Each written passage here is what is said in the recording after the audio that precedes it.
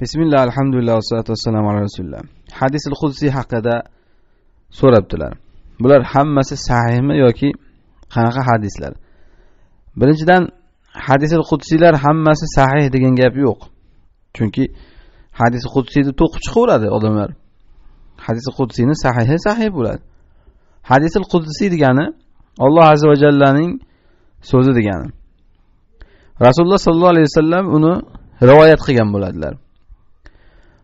Unda u nimaga qur'on emas desa yoki hadis qudsiy bilan qur'on o'rtasida nima farq bor desa mana bunda ulamolar o'rtasida ixtilof bor endi.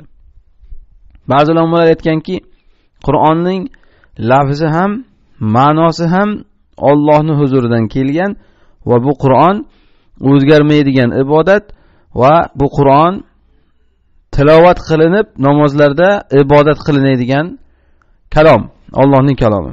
Ana shu qur'on bo'ladigan bo'lsa hadisil qudsiy qur'ondan farqi shundaki u ham ollohni huzuridan kelgan lafzi ham ma'nosi ham alloh taoloniki faqat rasululloh sollallohu alayhi vasallam uni rivoyat qilib berganlar xolos deydi. Qur'ondan farqi nimada? U namozlarda o'qib bo'lmaydi.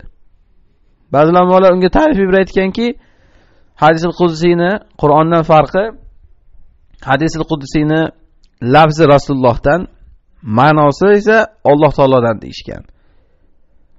Buni bizga nima bo'lganda ham zarari yo'q. Hadisul qudsiy rasululloh aytadilar uni olloh aytdi deb aytgan narsalari ana shular hadisi qudsiy deyiladi. Oddiy hadislar esa rasululloh sollallohu alayhi vasallam o'zlaridan aytadilar. Mana bu oddiy bir hadis deyiladi.